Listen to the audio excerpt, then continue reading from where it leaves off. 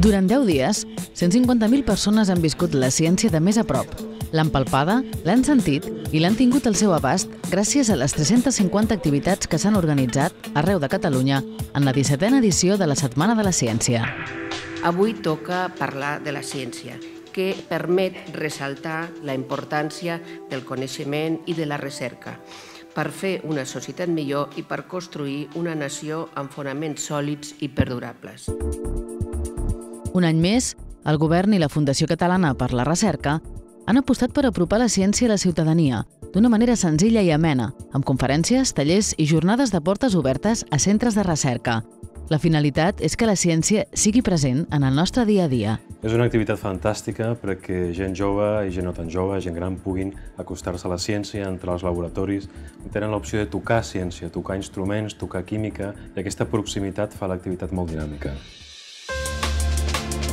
Un dels objectius de la Setmana de la Ciència a Catalunya és impulsar el coneixement de la ciència i les vocacions científiques entre els estudiants d'ESO i batxillerat.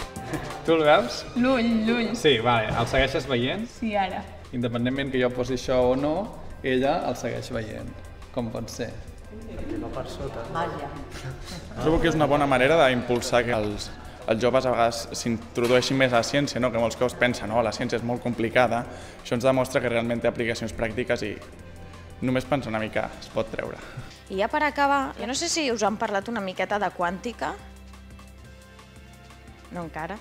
Han vingut alumnes d'un institut aquí a l'ICFO perquè és la Setmana de la Ciència i perquè volíem acollir aquesta visita, perquè a l'ICFO hi volem arribar no només a la comunitat científica, sinó també a la societat. Com te dius, perdona? Bueno, mentre us mengeu això, el Josep farà un pa de pessic 13.630 alumnes i 703 professors van assistir a alguna de les 102 conferències que van tenir lloc a centres d'educació secundària d'arreu de Catalunya. L'organització d'aquestes conferències, penso, és un clar exemple de que es pot aprendre eh, física, química, matemàtiques d'una altra forma molt més entretinguda i més, més light. Toca, toca l'aigua, toca. Vale, ara tira, res tira, toca poc. Bueno, bueno. Algú vol provar-ho només? Com a científic i divulgador, la Setmana de la Ciència crec que és una de les experiències interessants que hi ha durant l'any. Poder divulgar el que estàs fent a la recerca és un somni. Benvinguts al concurs del Joc de Ciència RIM. S'emmarca dins del que és la Setmana de la Ciència a Catalunya. Bé, participeu set universitats, la Bat Oliva, la UPC, la Pompeu Fabra, Universitat de Barcelona, Ramon Llull, la Universitat de Vic. Què és el que es coneix com a... Jo, jo me la sé, jo me la sé. Quan tots els òrgans del cos es situen en posició inversa a la normal, segur. Olé!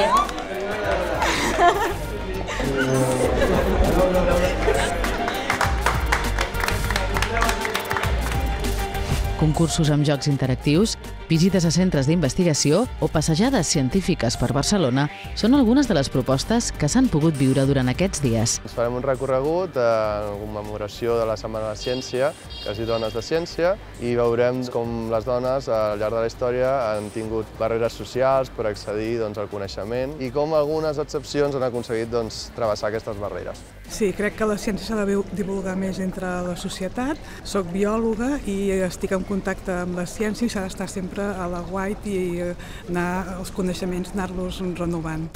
Aquesta setmana, plena d'activitats, se situa dins un marc més extens anomenat Ciència Oberta. La Setmana de la Ciència forma part d'un programa molt més ampli que es diu Ciència Oberta, que funciona durant tot l'any, gener a desembre, i l'objectiu és sempre tenir activitats durant la setmana perquè famílies puguin anar a les universitats, als centres de recerca i acostar-se a la ciència.